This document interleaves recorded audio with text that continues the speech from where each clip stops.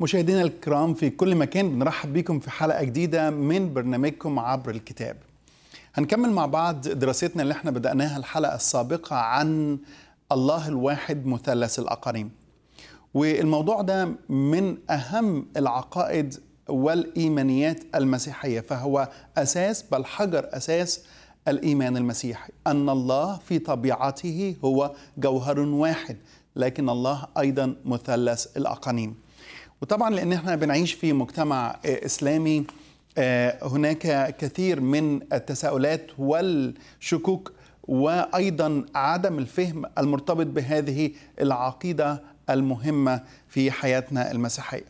المرة اللي فاتت اتكلمنا أكثر عن وحدانية الله وبدأنا البرنامج يمكن خدنا معظم وقت البرنامج أو الحلقة السابقة نتكلم فيها من الكتاب المقدس عن أنه الله واحد نحن لا نعبد ثلاثة آلهة بقولها مرة تاني و و وأتمنى إن الكل يسمع نحن لا نعبد ثلاثة آلهة. ومن يقول بأننا نعبد ثلاثة آلهة فهو لا يعرف المسيحية ولم يدرس المسيحية ولم حتى يقترب إلى الفهم الكتابي عن شخصية الله. فنحن نؤمن بإله واحد. اسمع يا إسرائيل الرب إلهنا رب واحد.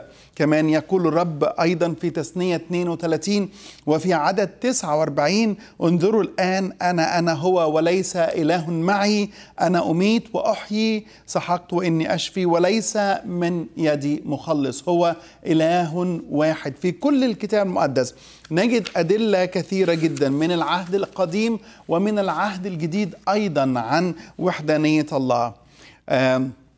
أيضا في إشعياء 44 اتكلمنا عن هذا النص في الحلقة السابقة. هكذا يقول الرب ملك إسرائيل وفاديه رب الجنود أنا الأول وأنا الآخر ولا إله غيري ومن مثلي.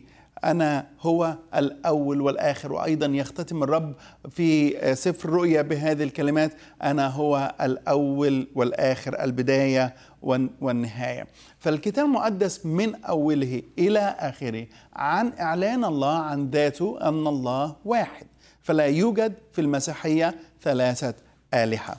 لكن نريد في هذه الحلقة أن إحنا شوية بعد ما حطينا أساس الفهم الكتابي لعقيدة الثالوث وهو الإيمان بالإله الواحد خالق السماء والأرض الإله الذي به كل شيء كان وبغيره لم يكن شيء مما كان. نأتي الآن إلى يعني إيه الإيمان بثالوث؟ يعني إيه الإيمان بالثالوث الإيمان بأن الله واحد. ده أساس الإيمان في عقيدة الثالوث أن الله واحد. موجود منذ الأزل وإلى الأبد مثلث الأقانيم. ونتكلم عن الجزء معنى كلمة اقانيم يعني إيه؟ علشان نقدر نفهم هذه العقيدة فهما صحيحيا. يبقى الثالوث هو الإيمان بأن الله الواحد موجود منذ الأزل وإلى الأبد مثلث الاقانيم أب وابن وروح قدس أو ذات الله وكلمة الله وروح الله.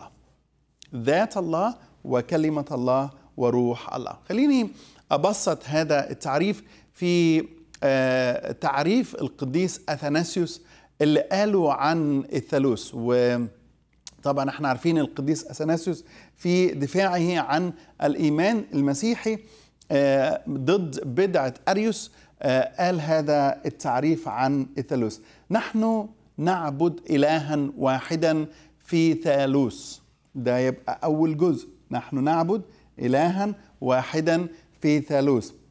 وثالوث في وحدانية. بدون خلط في الأقانيم وبدون تقسيم في الجوهر. لأن الآب أقنوم واحد والابن أقنوم وكذلك الروح القدس أقنوم آخر. لكن لاهوت الآب والابن والروح القدس هو واحد. يبقى اللاهوت هنا واحد. هو واحد. لهذا الآب هو الله والابن هو الله والروح القدس هو الله فهم ليسوا ثلاثة آلهة بل إلها واحدا. ده تعريف القديس أثناسيوس آه، عن موضوع الثالوث عن ال- الثالوث الأقدس. نحن لا نعبد ثلاثة آلهة بل إلها واحدا إلها واحدا في ثالوث وثالوث في وحدانية زي ما هو قال بدون خلط في الأقانيم وبدون تقسيم في الجوهر. يعني هاجي عند الجزء ده وهشرحه بأكثر تفصيلا. نحن يعني آه، جوهر الله ليس منقسم إلى ثلاث أقسام آب وابن وروح قدس لكن هو جوهر واحد جوهر واحد. أو زي ما بنحطها أوقات باللغة الإنجليزية بيقولوا one essence three إقنو- جوهر واحد وثلاثة أقانيم. جوهر واحد وثلاثة أقانيم. طيب لو جينا إلى الإيمان بالثالوث بيتلخص الإيمان في الثالوث في ثلاث حقائق مهمين جدا. ولا يوجد تناقض. طبعا أي حد ممكن من بره ممكن يبص يقول لا ده ال- الحقائق دي فيها تناقض. لكن خلينا نحط الحقائق دي حقيقة تلو الأخرى. اولا الإيمان بالثالوث هو أنه يوجد إله واحد. يوجد إله واحد.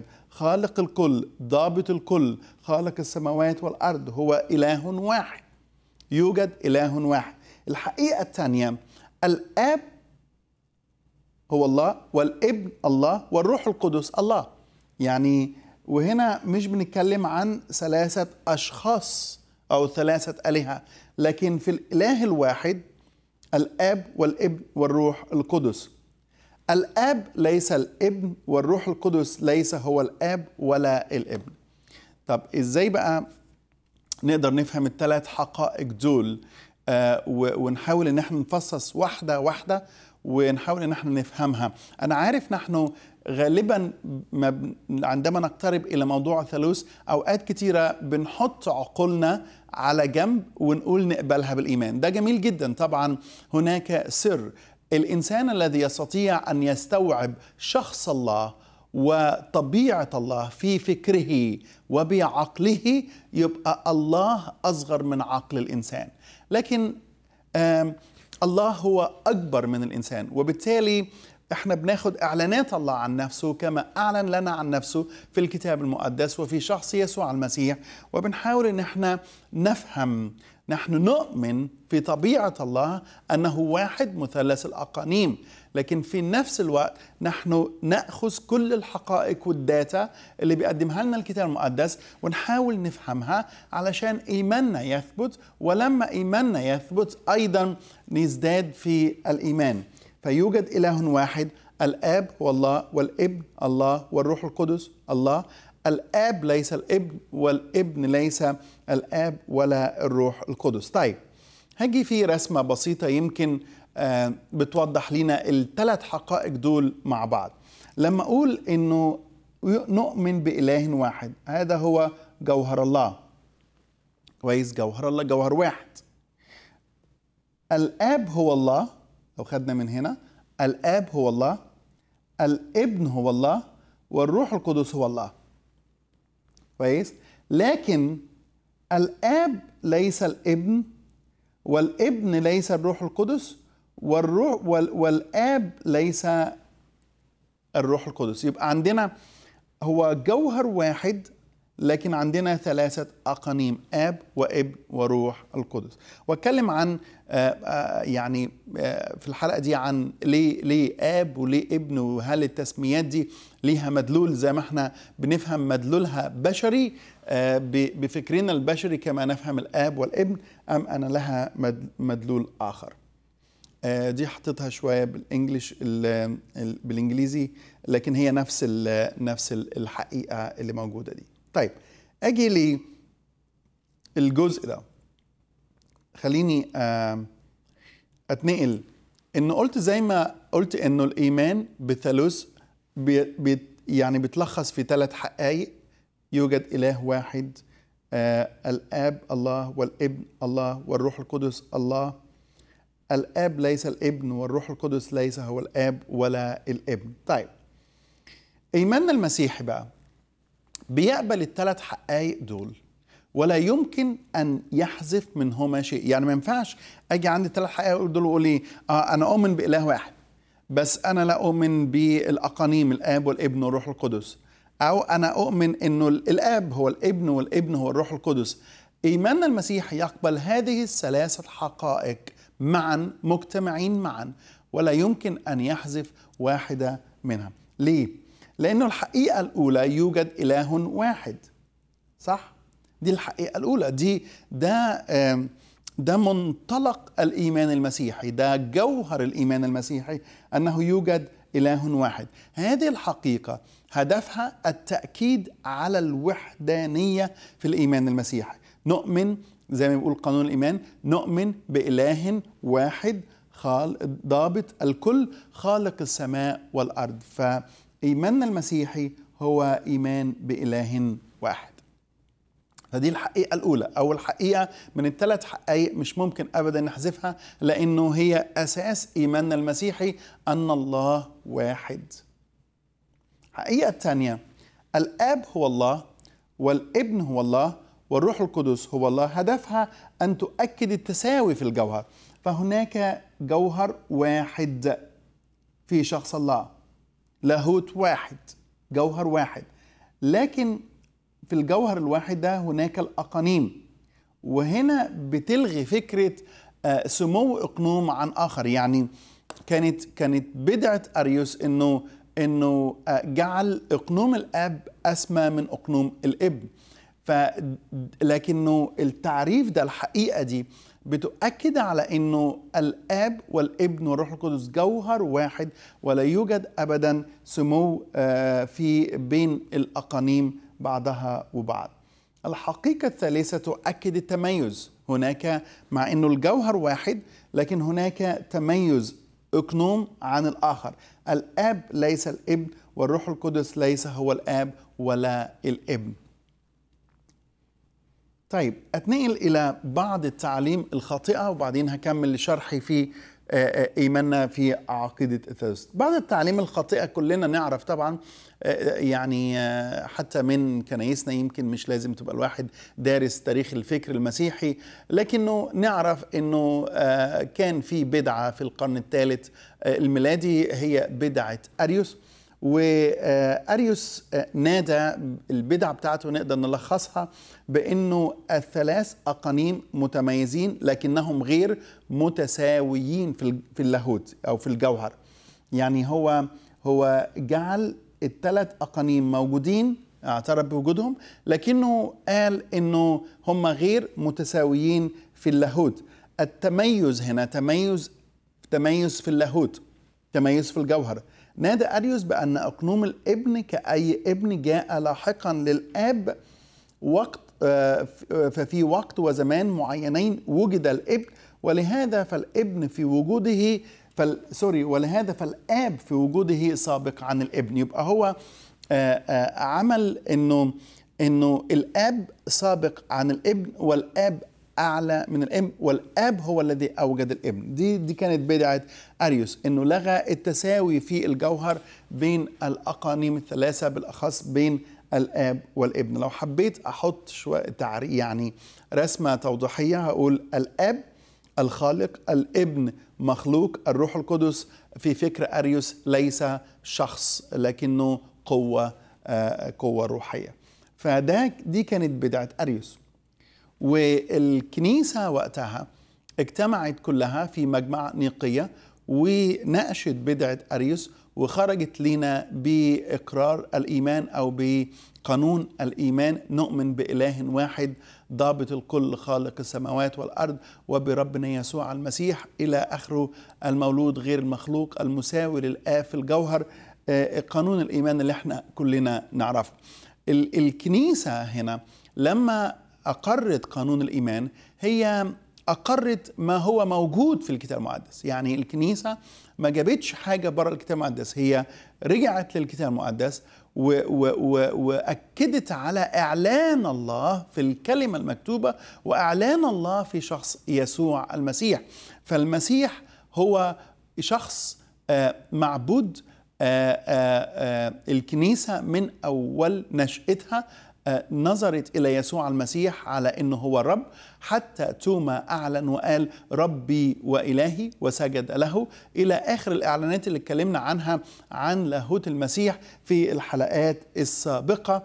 لكن الكنيسة في إقرارها أو في إعلانها لقانون الإيمان هذا هي أقرت حقيقة موجودة علشان تحمي شعب الكنيسة من تعليم خاطئة آه، تدخل إليها. تعليم بقى الخاطئة زي ما قلنا إنه كان في بدعة أريوس. تعليم الخاطئة أخرى آه، سابيليوس أو سابيليوس آه، أو بيسموها Sabellianism أو بيسموها أيضا ال modalistic Trinity يعني آه، المظاهر اللاهوت الظاهر. إنه الله في العهد القديم ظهر على إنه هو الآب الله في العهد الجديد ظهر على إنه هو الإبن الله في عصر الكنيسة ظهر على إنه هو آه، الروح القدس. الذي نادى بأن الآب والإبن والروح القدس هم مجرد ظهورات لشخص واحد لشخص واحد. اهتم باللاهوت على حساب التميز في الأقانيم. الله في العهد القديم أعلن عن نفسه على أنه الآب. الله في العهد الجديد أعلن عن نفسه على أنه الابن الله في العه... في العصر الكنيسة أعلن عن نفسه على أنه الروح القدس حطيتها بالشكل ده. الآب في العهد القديم الابن في العهد الجديد الروح القدس في عهد النعمة. وهنا يكون لغى التميز هو أكد الوحدانية لكنه لغى التميز ما بين الأقانيم الثلاثة واعتبرها مجرد ظهورات آه، والله أعطى لنفسه أسماء مختلفة في فترات مختلفة. الثالوث آه، ليس معناه أن الله آه، الله كشخص منقسم إلى ثلاثة أقسام متساوية. يعني لو لو نظرنا إلى قلنا إنه الدايرة دي هي شخص الله. ليس معناه الثالوث إنه الابن أو الآب له التلت والابن تلت والروح القدس تلت فالثلاثه بيكونوا. يعني هنا يبقى واحد زائد واحد زائد واحد بيساوي ثلاثة ده ليس الإيمان المسيحي على الإطلاق. كويس؟ إيمان المسيحي آه، ليس هذا الفكر. هذا الفكر فكر خاطئ. كويس؟ فهو ليس آآ آه، آآ آه، أجزاء في الله جزء يطلق عليه أب وجزء يطلق عليه ابن وجزء يطلق عليه الروح القدس. ولا أيضا إيماننا المسيحي في الثالوث الأقدس ليس معناه أنه الله لكنه ينظر إليه ننظر إليه آه، من ثلاث زوايا مختلفة.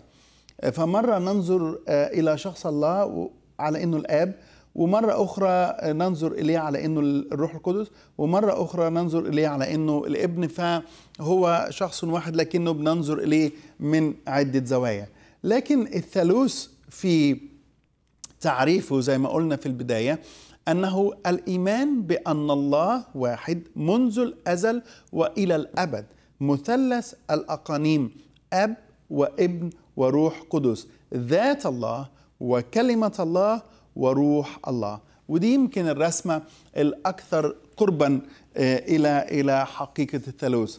شخص الله جوهر الله. كويس؟ فهناك جوهر جوهر واحد جوهر واحد لكن الله له ذات له كلمة وله أيضا آه، روح. فالله الواحد المثلث الأقانيم أو التعيين التعيينات. خليني اخد جزء آخر. يعني إيه كلمة اقنوم عشان نقدر نفهم إنه في شخص الله إحنا لا نعبد ثلاثة آلهة لابد إن إحنا آه، نوضح يعني إيه كلمة اقنوم وبالأخص في مجتمعاتنا العربية هناك سوء فهم كبير جدا للإيمان بالثالوث الأقدس. كلمة اقنوم ككلمة ليست كلمة عربية على الإطلاق. هي كلمة سريانية يطلقها السريان على كل من يتميز عن سواه. يعني أي شيء بيتميز عن سواه بيطلق عليه كلمة إيه؟ كلمة أقنوم. فالأقنوم كلمة سريانية يطلقها السريان على كل من يتميز عن سواه. هناك تميز عن سواه. فالأقنوم يراد بها التعيين تعيين اللاهوت الخاص. يمكن ده أكثر آه، تبسيط لهذه الحقيقة. الأقانيم أيضا الكلمة اليونانية المقابلة لكلمة أقنوم هي كلمة هايبوستاسيس والكلمة دي آه، نقلت إلى الإنجليزية لأنه ما فيش في الإنجليزية كلمة تساويها. كويس. واستعملت فيها بهذا المعنى آه، إنه إنه هي بديلة لكلمة أقنوم. تساوي كلمة اقنوم يعني كل ما يتميز عن سواه. ولا يوجد لكلمة اقنوم ما يساويها باللغة العربية. عشان كده ما ينفعش إن إحنا ناخد الكلمة آه ونحاول نجد ليها البديل بالعربي لأنه مش هنجد البديل في اللغة العربية لكلمة اقنوم كلمة أقنوم تختلف عن كلمة شخص. يعني ممكن البعض يقول طب ما إحنا ممكن نقول أن الله واحد لكنه هناك ثلاثة أشخاص. كويس. آه كلمة أقنوم مختلفة عن كلمة شخص في أمرين. مهمين جدا. الأمر الأولاني الشخص هو ذات منفصلة. يعني أنا كشخص منفصل عن فلان كشخص منفصل عن فلان كشخص. أنا ذات منفصلة. أما الأقانيم فهي ذات واحدة هي ذات الله. فمش ممكن أبدا نعتبرها ذوات منفصلة. هي ذات واحدة هي ذات الله. كلها ذات الله. الأقانيم هي ذات الله. الأقانيم فهي ذات واحدة. ما ينفعش إن إحنا نقول ذوات يعني أو جمع ذات. آآ آآ ونحطها في شخص الله. الأقانيم هي ذات واحدة هي ذات الله. هي جوهر واحد. هي جوهر واحد. لاهوت واحد.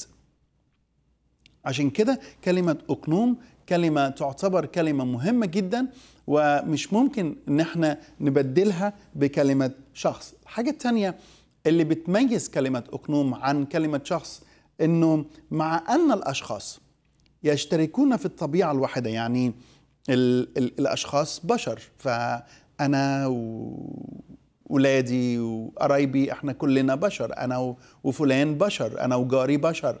فإحنا بنشترك في طبيعة واحدة هي الطبيعة البشرية. إلا أن ليس لديهم صفات أو مميزات الآخر. فكل واحد فينا منفصل. أنا منفصل عن ابني أنا منفصل عن زوجتي صفاتنا ومميزاتنا وطبائعنا وطبيعة بشرية واحدة لكن كل واحد فينا في صفاته ومميزاته يختلف عن الآخر. ما بتلاقيش اتنين زي بعض. أما الأقانيم فمع تميز أحدهم عن الآخر في الأقنومية هم واحد في الجوهر بكل صفاته وخصائصه ومميزاته لأنهم ذات الله الواحد. عشان كده لما نيجي نقرأ في الكتاب المقدس نعرف إنه الآب والابن والروح القدس كل واحد فيهم وصف بأنه موجود بذاته وصف بانه كلي المعرفة كلي العلم كلي الوجود وصف بصفات الله نفسها. كويس؟ فهم جوهر واحد لاهوت واحد. عشان كده ما ينفعش إن إحنا نستبدل كلمة أقنوم بالكلمة العربي أشخاص. الأقانيم الثلاثة هم اللاهوت معلنا في ذاته وفي صفاته. اللاهوت معلنا في ذاته وفي صفاته. معلش استحملوني أنا عارف إنه يعني آه الموضوع محتاج يعني آه يمكن أول مرة آه نشرح هذا الموضوع بهذا التفصيل لكنه آه في الحقيقة ما أروع هذه الحقيقة فهمها وإدراكها واستيعابها بجانب الإيمان آه هي هي مهمة جدا لإيماننا المسيحي لأنها إحنا بنتكلم عن ذات الله بنتكلم عن شخص الله وهذا الشخص القدوس العظيم بنحاول إن إحنا بحسب إعلاناته التي أعلنها عن نفسه في الكتاب المقدس وعلى مدار التاريخ إن إحنا يعني آآ آآ نفهم ذات الله وشخص الله وجوهر الله. وحدة وتميز في الثالوث الأقدس. الآب والابن والروح القدس جوهر واحد. ويشتركون في طبيعة إلهية واحدة. كل منهم كلي الوجود كلي المعرفة وكلي القدرة وازلي عشان كده لما نقرأ في الاناجيل نعرف إنه يعني كل واحد من الأقانيم الثلاثة وصف بهذه الصفات الإلهية الصفات الإلهية التي تميز الله عن أي كائن آخر. شوفوا في دراستنا لصفات الله في عندنا بعض العلماء اللاهوتين بيقسموا صفات الله بيقسموا بيسموها communicable and non-communicable أو صفات ممكن يشترك فيها البشر وصفات لا يشترك فيها البشر. ففي صفات في الله مش ممكن أبدا يشترك فيها البشر. هذه الصفات إذا اشترك فيها البشر صاروا آلهة. يعني يعني مثلا الله موجود بذاته. الله موجود بذاته. أنا مش موجود بذاتي. أنا الله أوجدني. أنا هناك مسبب لوجودي. هناك خالق لي لكن الله موجود بذاته. لما نقرا في الكتاب أنس نعرف أنه الآب والابن والروح القدس موجود بذاته. فبالتالي هذه الصفة مش ممكن أبدا تعطى لبشر. كويس؟ الله مستقل بذاته. الله يعني مستقل بمعنى إنه لا يعتمد في وجوده على على كائن آخر. لا يعتمد في وجودي على كائن آخر. أنا بعتمد في وجودي على كائن آخر بعتمد على شخص الله مش بس اللي أوجدني لكن الذي أيضا يعضدني كل يوم يسندني كل يوم الذي يعطيني حتى نسمة الحياة التي بتنفسها كل يوم هو الذي به أحيا وأتحرك وأوجد. فأنا مش مستقل بذاتي. لكن الله مستقل بذاته. نيجي مثلا عند صفة أخرى وهي أن الله كلي القدرة. ما فيش إنسان كلي القدرة. كلنا محدود القدرة. محدود القدرة. مهما كانت لنا السلطة والسلطان بنيجي في أشياء كثيرة وندرك أننا في قدرتنا محدودين. يعني ممكن يبقى رئيس وزراء ولا يمكن يبقى رئيس بلد وعنده من السلطة والسلطان الكثير والكثير. كويس؟ لكن يقف قدام ابنه المريض عاجز لا يستطيع أن يفعل شيء. يقف قدام مرضه هو كشخص عاجز لا يستطيع أن يفعل شيء. ويقف قدام مواقف أخرى كثيرة كشخص عاجز. هو ليس كلي القدرة. أما الله فيستطيع كل شيء ولا يعثر عليه أمر. فكلي القدرة دي صفة إلهية بتاعة الله ما بيديهاش لحد. هو المتسلط والمتحكم الوحيد في مملكة الناس. ومن يظن أنه يمتلك القدرة ويفتري بها على الناس يذل. ويأتي وقت فيها يقع تحت دينونه الله ويدرك أنه ليس كلي القدرة. كمان كلي المعرفة من الذي يعرف كل الأشياء هو شخص الله. وهذه الصفة توصف بها الآب والابن والروح القدس. هو كلي المعرفة. كل شيء عريان ومكشوف قدامه. كل شيء. كلي المعرفة. الماضي والحاضر والمستقبل كله عريان ومكشوف قدامه. أفكارنا وقلوبنا و و و وما في دواخلنا كلها مكشوفة وعريانة قدامه. كلي أيضا المعرفة كلي القدرة كلي الوجود موجود في كل مكان. لماذا لم يستطع أحد ولماذا لم يستطع مثلا مه أي شخص مهما كان ادعى أنه رسول أو جاء برسالة أنه يقول ها أنا معكم كل الأيام وإلى انقضاء الدهر لماذا؟ لماذا لم يقلها موسى؟ لماذا لم يقلها ايليا ولا إليشع؟ لأنه غير موجود في كل مكان ليس كلي الوجود الشخص الوحيد الذي هو كلي الوجود هو شخص الله ذاته نفسه. هو موجود في كل مكان وموجود بكماله في كل مكان ويملأ كل مكان. شخص أزلي شخص أبدي. هذه الصفات الأساسية. لما ندرس الكتاب المقدس نعرف إنه الآب وصف بها الابن وصف بها الروح القدس أيضا وصف بها. دي صفات التي لا يشارك فيها أحد. لا يشارك الله فيها أحد. لكن هناك صفات أخرى الله بيشارك فيها الناس. الله محب هو كلي المحبة. هي محبة كاملة هو المحبة ذاتها. لكن الله جعلني كإنسان فهي جزء من هذه المحبة. كأب أعرف أن أحب أولادي. كزوج أعرف أن أحب زوجتي. كمواطن صالح أعرف أن أحب بلدي. كويس؟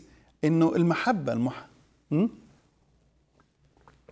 كمان الله أعطاني الرحمة هو رحيم لكنه أعطانا جزء من هذه الرحمة. فنحن ممكن نمارس الرحمة. طبعا اللي إحنا بنشوف النهاردة باسم الله إنه لا تمارس الرحمة إنه إنه الإنسان يقتل أخيه الإنسان. وما نراه في العراق وفي سوريا وما نراه أيضا في بلادنا المصرية وفي بعض الأماكن زي ما بيحدث الآن في المنيا وفي قرى المنيا. هذه ليست لها علاقة بشخص الله. نهائي ومن يقول أنه يفعل هذه باسم الله هو يفعلها باسم الشيطان وليس باسم الله لأنه لم يعرف الله. الوحيد الذي يقتل الوحيد الذي لا يرحم هو الشيطان نفسه. وأنتم من أب هو إبليس وأعمال أبيكم تريدون أن تفعلوا.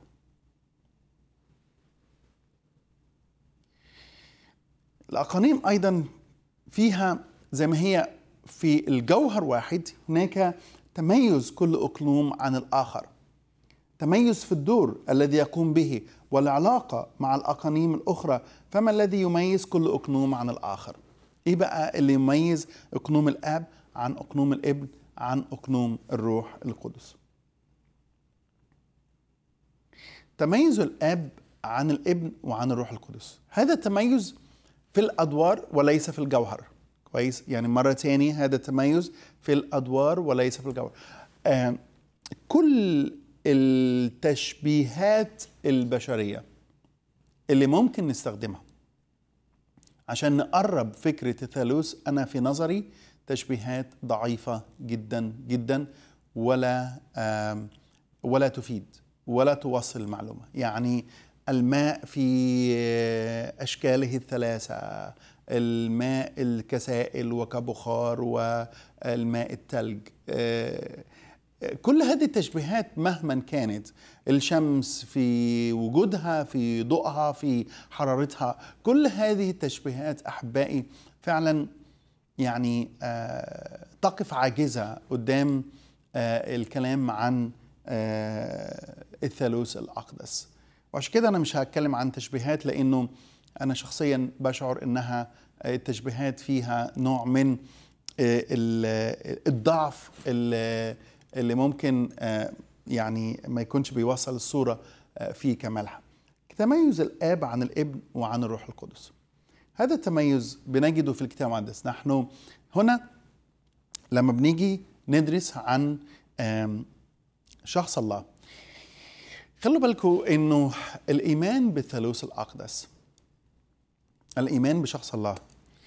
هذا الإيمان ما قعدش كده مثلا واحد في تاريخ الكنيسة وقعد يفكر آه يقول آه شخص الله ده آه يعني ثلاث أقانيم. وآب وابن وروح القدس. وبدأ من من من تخيله يتخيل آه شخص الله ويكتب لينا عن شخص الله. ما بدأتش الإيمان المسيحي كده ده اسمه خزعبلات كلها. كويس؟ لكن الإيمان المسيحي بدأ منطلقا من الكلمة المكتوبة ومن حياة شخص الرب يسوع المسيح له كل المجد. كويس؟ فبدأ المؤمنين يدرسوا الكتاب المقدس. ولما بدأ يدرسوا العهد الجديد والذين عاشوا مع الرب يسوع المسيح وشافوا شخص يسوع المسيح شافوا حياته كلها شافوا كلامه عن نفسه شافوا معجزاته شافوا سلطانه شافوا آه إعلاناته عن شخصه عن نفسه عن الله شافوا كل هذا الكونكلوجن بتاعهم أو الملخص بتاعهم مش ممكن ابدا يكون يسوع المسيح الذي هو اعلن نفسه هكذا يكون يعني كواحد من البشر. وفي نفس الوقت مش ممكن ابدا يكون إله مع الله الأزلي الموجود يعني يبقى اتنين آلهة. مش ممكن. ما إحنا ما عندناش هذا الإيمان. وخلوا بالكم انه تلاميذ المسيح كلهم في بدايتهم وال 12 تلميذ وال 70 تلميذ وال 120 أيضا تلميذ فيما بعد اللي هم يعني ربنا استخدمهم ونشروا الرسالة في كل ربوع المسكونة كانوا يهود واليهودي يعلم جيدا للرب إلهك تعبد وإياه وحده تسجد. إنه مش ممكن ابدا يعبد ايا كان مهما كان لأنه هذا يجعله عابد للأوثان. فبطرس بطرس يهودي يوحنا يهودي متى يهودي آآ آآ بولس يهودي كل هؤلاء يهود. واليهود منطلق إيمانهم في شخص الله هو اسمع يا إسرائيل الرب إلهنا رب واحد. ده منطلق ايمانهم لكنه هذا الإيمان أمام شخص يسوع المسيح وإعلانات يسوع المسيح عن نفسه اللي اعتبرها في مرات كثيرة قادة اليهود والذين كانوا معارضين للمسيح أنه يجدف. أنه جعل نفسه مساويا لله. أنه قال قبل أن يكون إبراهيم أنا كائن. الذي قال من رآني فقد رأى الآب أنا والآب واحد.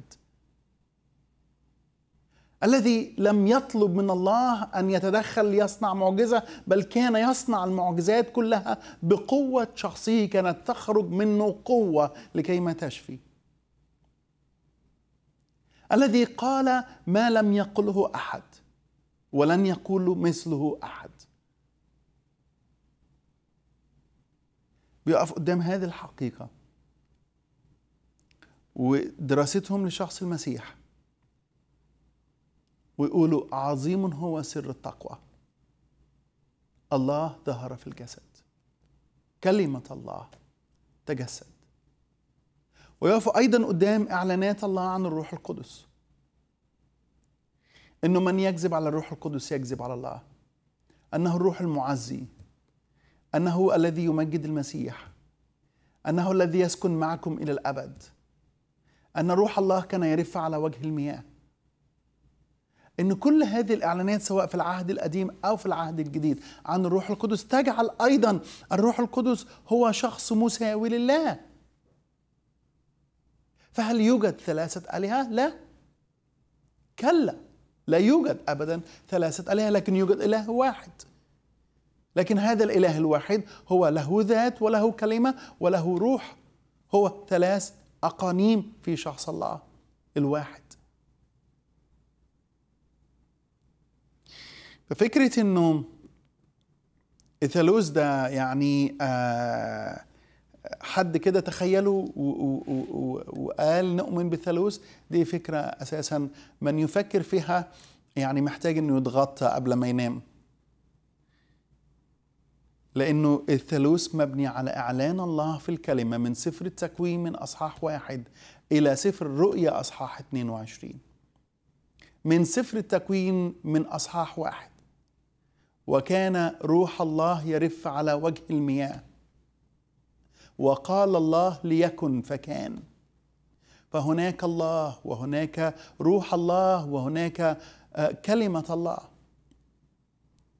في البدء كان الكلمة والكلمة كان عند الله وكان الكلمة الله. كل شيء به كان وبغيره لم يكن شيء مما كان. فيه كانت الحياة والحياة كانت نور الناس والنور يضيء في الظلمة والظلمة لم تدركه. والكلمة صار جسدا وحل بيننا. كل هذه الإعلانات يعوزني الوقت أن أنا أجيب كل إعلانات الله عن في العهد القديم. وفي العهد الجديد عن الثالوث. حتى الاسم إلهيم هو اسم جمع. لكنه في كل مرة كان يأتي فيها اسم ألهيم كان يأتي الفعل الذي يستخدم هو فعل في صيغة المفرد. ففي البدء خلق إلهيم خلق واحد مفرد. إلهيم جمع. وقال الله يعني آه ليكن نور فكان نور. وقال إلهيم ليكن نور فكان نور. وغيره من الإعلانات الكثيرة اللي في الكتاب المقدس عن ملاك الله عن ظهورات شخص المسيح في العهد القديم اللي هي بنسميها ثيوفاني كل هذه الأشياء من العهد القديم والعهد الجديد وضعت المؤمنين الأوائل قدام حقيقة مهمة جدا وهي أن الله واحد في جوهره لكنه مثلث الأقانيم. فالآب هنا في حسب الكلمة حسب المكتوب الآب يتميز عن الابن وعن الروح القدس. الآب هو المصمم الحكيم للخلق والفداء وانتهاء الأزمنة. يعني لما بنيجي ندرس كمهندس نعرف أن خطة أو الخلق ده تصميم الآب. التنفيذ هو الإبن والروح القدس. ليس معنى هذا أن هناك آآ آآ آآ يعني تميز في الجوهر لكن هناك تميز في الأدوار في الأدوار. حتى لما نقرأ أفسس واحد المرتبطة بالفداء من عدد تسعة إلى 11 نعرف أنه الآب والابن والروح القدس. وكلوسي واحد و12 إلى آخره الآب والابن والروح القدس. تكوين واحد أيضا بنجد الآب والابن والروح القدس في الخلق والفداء. كل شيء به كان. لما الكتاب يقول لنا كل شيء به كان وبغيره لم يكن شيء مما كان بيتكلم عن الرب يسوع. طب مين الرب يسوع؟ هل هذا تجديف إن لم يكن يسوع هو ذات الجوهر واحد مع الآب هو أقنوم الابن. يبقى إحنا هنا بنقول إنه هناك تجديف لأنه جعلنا من مسيح المسيح إله والمسيح ليس إله فهذا تجديف. لكن لما نقرأ عن المسيح أنه كلمة الله الذي ظهر في الجسد الكلمة المتجسد نعرف إنه هذا ليس تجديف. ده إعلان بعد عن شخص الله لم يكن موجودا. الآب هو مصدر كل عطية صالحة وموهبة تامة. لكن هذه العطايا الصالحة والموهبة التامة لنا في شخص المسيح فقط. هي في شخص المسيح. مبارك الله أبو ربنا يسوع المسيح الذي باركنا بكل بركة روحية في السماويات في المسيح يسوع. في المسيح يسوع. تميز الآب عن الابن أيضا بنراه في حتى الابن هو عطية الآب وهذا سر. بنحاول إن إحنا نستوعبه لكنه أكبر من عقولنا ولا يتعارض مع عقولنا. لأنه يولد لنا ولد ونعطى ابنا وتكون الرياسه على كتفه ويدعى اسمه مشيرا عجيبا الها قديرا ابا ابديا رئيس السلام. لأنه هكذا أحب الله العالم حتى بذل ابنه الوحيد لكي لا يهلك كل من يؤمن به بل تكون له الحياة الأبدية. الذي لم يشفق على ابنه بل بذله لأجلنا أجمعين. وآيات أخرى كثيرة. الله بين محبته لنا. وإذ ونحن بعد خطأ مات المسيح من أجلنا. الآب أعطى لنا الابن لفدائنا.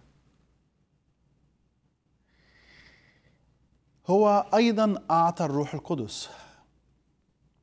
الروح القدس هو عطية الآب للمؤمنين بالمسيح يسوع. هو الذي أتى لكي ما يمجد يسوع. فعمل الخلق كله وعمل الفداء كله وانتهاء الأزمان كلها هي من ترتيب الآب تصميمه ومع الإبن والروح القدس.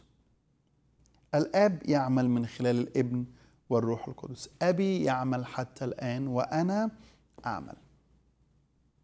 أبي يعمل وأنا أعمل. لماذا سمي الإبن بالإبن؟ وهنا طبعا آه توجد بعض الحاجات اللي نأكدها مرة تانية. إحنا اتكلمنا عنها الحلقة السابقة وقلنا إنه الابن ليس معناها البنوة التناسلية لأنه ده التفكير البشري. على طول أو لما يجي ابني آه يبقى جاي من أب يبقى في تناسل آه يعني في في في أتى عن طريق التناسل. هذا ليس المفهوم الكتابي لأنه حاشا لله الله ليس جسد الله روح. والروح لا يتناسل ولا يزداد ولا ينقص ولا آه، يتغير. الله روح. كويس؟ لكن لماذا سمي الإبن؟ فإذا إذا لغينا فكرة التناسل كويس؟ يبقى قدامنا حاجة تاني ممكن نفكر فيها. إنه ممكن يبقى تبني. ما هو مش لازم يبقى آه الإبن البيولوجي أو بالتناسل الجسدي لكن ممكن أتبنى ويبقى ابني فهل الله الاب تبنى المسيح؟ فصار المسيح ابن لله. هل هذا هو المعنى؟ هذا المعنى ليس هو المعنى الذي يقدم الكتاب المقدس. هذه بدعة أيضا وهرطقة كانت موجودة وحربتها الكنيسة على مدار التاريخ. فهو ليس ابن بالتناسل وليس ابن أيضا بالتبني الابن دعي ابن لعدة أسباب. أول حاجة لأنه هو الذي يعلن ذات الله. هو الله معلنا. الله معلنا. الإبن. هو صورة الله غير المنظور. هو الذي أظهر جوهر الله وذات الله فهو الله معلنا. الله معلنا. من رآني فقد رأى الآب. يبقى الابن واحدة من المعاني بتاعة الابن أو ليه سمي الابن؟ لأنه أظهر الله لأنه هو صورة الله هو الذي أعلن الله في كماله وفي ذاته وفي صفاته. كويس؟ ده واحدة من الأشياء. هو الذي أعلن الله الذي لم يره أحد قط. الله لم يره أحد قط. الابن الوحيد الذي هو في حضن الآب قد خبر. الله بالنسبة ودي حقيقة بنجدها في الكتاب المقدس. الله بالنسبة لليهود مع أنه الله أعلن ذاته نفسه لهم مرات ومرات واتكلم مع موسى واتكلم مع إبراهيم واتكلم مع إسحاق ومع يعقوب و و و وتاريخ العهد القديم هو تاريخ معاملات الله مع مع شعبه. إلا إنه الله في العهد القديم يطلق عليه كما قال إشعياء أنه محتجب محتجب. ما حدش كان يقدر يدخل قدس الأقداس إلا رئيس الكهنة مرة في السنة في يوم الكفارة العظيم لكي ما يكفر عن خطايا الشعب. إنه كان هناك الحجاب الذي يفصل بين الناس وبين القدس أو بيفصل ما بين الكهنة وقدس الأقداس. هذا الحجاب كان موجود. فالله محتجب. آه الله بيعلن عن نفسه لكنه محتجب. ما زال محتجب. لا يستطيع إنسان أن يرى الله ويعيش. الله قال كده لموسى. لا يستطيع أحد أن يراني ويعيش. طب يا رب أنا اريني مجدك. مش هينفع إن أنا أوريك نفسي لأنه لو وريتك نفسي لن تحتمل المجد بل ستموت. طب أمال إيه يا رب؟ أجيز كل جودتي يعني أنا هأظهر جزء من صفاتي قدامك يا موسى. فالله في العهد القديم هو إله محتجب. الله في العهد الجديد كان عند الأمم هو إله مجهول الإله الذي أنتم تجهلونه زي ما قال بولس الرسول لأهل أثينا في أعمال 17 طب إزاي نعرف الله؟ إذا كان الله محتجب في العهد القديم وإذا كان الله عند الأمم هو إله مجهول كيف نعرف الله؟ كيف نعرف الله الحقيقي؟ نعرف الله الحقيقي فقط في وجه يسوع المسيح لأن يسوع المسيح هو الذي أعلن لنا ذات الله وصفات الله. هو الله معلنا لنا. عاش بيننا. الكلمة الذي صار جسدا. عشان كده دعي المسيح بالابن. التسمية أيضا تدل على المقام. نعم المقام. مساور الآب في الجوهر. إنهم يهابون ابني فهو فريد في شخصه وفريد في مركزه وفريد في مهمته. هو ليس كالبشر وليس كالملائكة هو فريد في كل شيء. وده بنجده في عبرانيين واحد إنه المسيح إزاي سمو المسيح عن كل الأشياء أو كل الأشخاص. اصطلاح ابن الله ليس لقبا يعطى للمسيح بل هو اسم بعينه هو اسم بعينه. فاللقب يراد به الإشارة إلى علاقة من العلاقات أو صفة من الصفات. أما الاسم فيراد به التعبير عن الشخصية نفسها نفسها شخصية نفسها. عشان كده؟ ابن الله يعتبر اسم. لأجل هذا سمي الابن بالابن. دي الحقيقة دي مهمة جدا. نيجي بقى لجزء آخر مهم آخر. لماذا سمي الآب بالآب؟ يعني يعني عرفنا إنه الابن سمي بالابن لأنه هو ذات الله معلنا الله معلنا في ذاته في صفاته. هو أيضا له المكانة السامية الفريد في كل شيء. لكن لماذا سمي الآب بالآب؟ هناك فرق بين الوالد والآب. نحن لا نقول أن الله والد. يعني أنا لما بشوف يعني شخص أقول له فين والدك؟ فين اللي جابك؟ اللي ولدك؟ اللي, اللي أنت منه. كويس؟ ده معنى الوالد. لكن لما نقول الآب نحن لا لا نقصد الوالد في في فرق حتى لغوي ما بين الاثنين الآب والوالد ففي المسيحية لا يوجد والد. فالتوالد حاجة جسدية بينما الأبوة حالة روحية. توالد حاجة جسدية. الأبوة في معناها تدل على المحبة الباطنة السامية. المحبة الأزلية بين الآب والابن لأنك أحببتني قبل إنشاء العالم. طيب أنا عندي مداخلة من الأخ جورج. آه الأخ جورج من كندا. ألو؟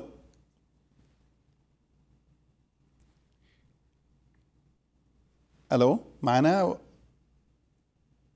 طب ممكن أوكي. أوكي نكمل. غالبا الخط وقع فنكمل مع بعض. لماذا سمي الآب بالآب؟ قلنا لأنه المحبة الأزلية بين الآب والابن لأنك أحببتني قبل إنشاء العالم. يدعو الكتاب المقدس أحد الأقانيم بالآب لأن أقنوميته تبطن كل معاني المحبة في الله. يعني أقنوم الآب يبطن كل معاني المحبة في الله. ويدعو أقنوما آخر بالابن لأن أقنوميته تظهر كل معاني المحبة في اللاهوت. كويس؟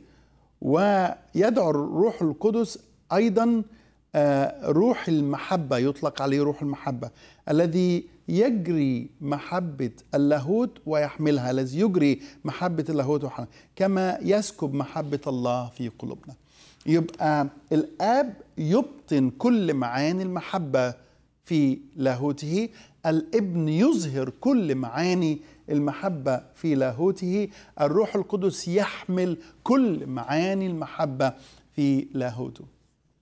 لأجل هذا سمي آب وابن وروح القدس. أختم مع حضراتكم بصفات اتصف بها كل أقنوم في الثالوث الأقدس. أبدي.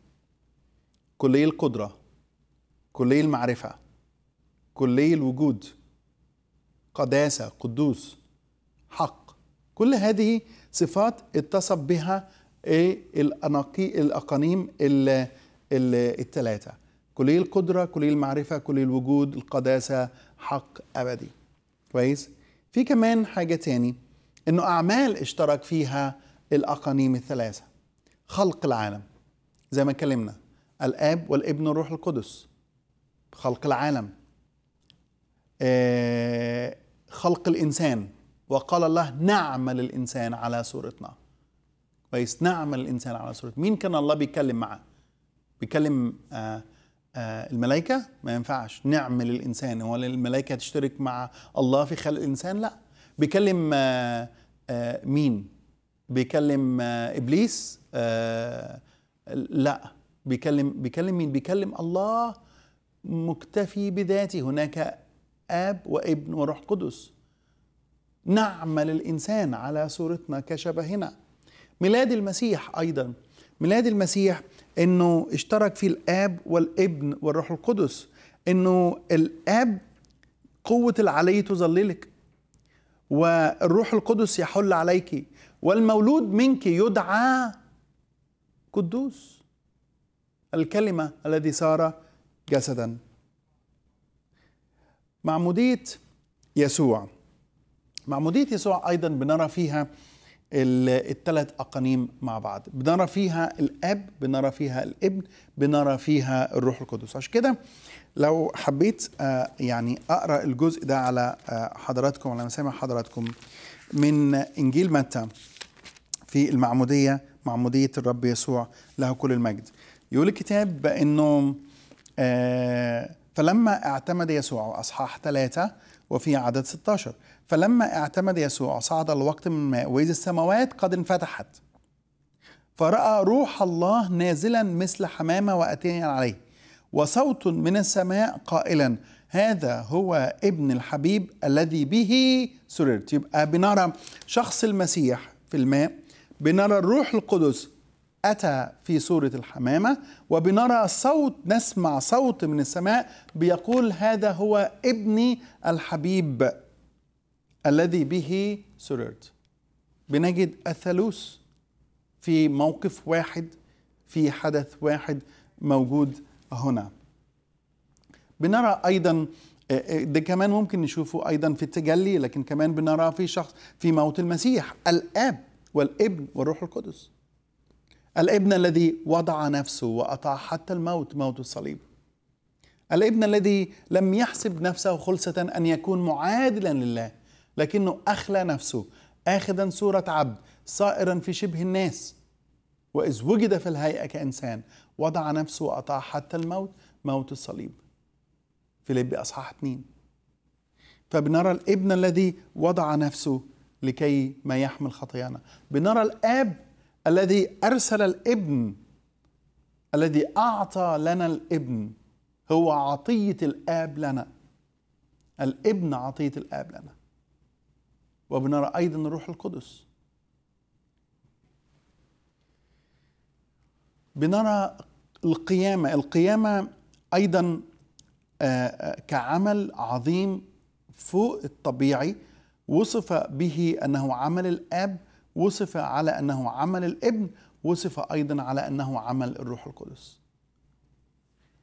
الكتاب المقدس كله من أوله إلى آخره بيشهد عن الثلاث حقائق دول. بيشهد على إنه الله واحد. الله واحد. اوعوا تنسوا الحقيقة دي.